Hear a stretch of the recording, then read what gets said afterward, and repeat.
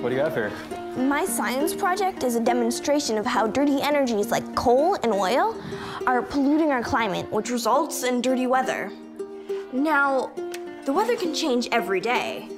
It's dynamic, and it lets us know if it's going to be a coats or shorts kind of day. See, coats, shorts. Climate is, of course, related to weather, but it's measured over months, years, and decades. It even affects how your house is designed. Enter climate change. Burning dirty energies like coal and oil have disrupted the Earth's natural climate. The most obvious thing we're already seeing is the number of hot days increasing and cold days decreasing, as this graph from NASA illustrates. Think of it this way climate change loads the dice for extreme weather. So our odds of rolling a record setting summer of heat like we've had recently become far greater.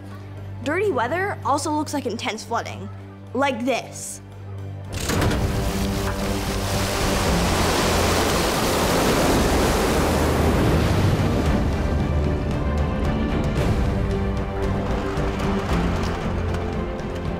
Dirty weather may also lead to more frequent heat waves, which leads to more droughts, which leads to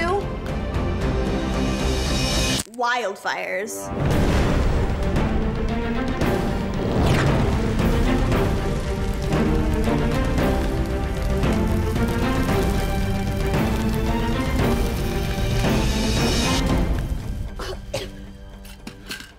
The choice between the dirty energy of the past and clean energy of the future is a no-brainer.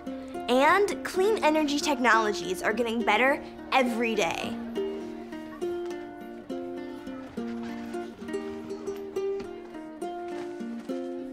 Clean energy now.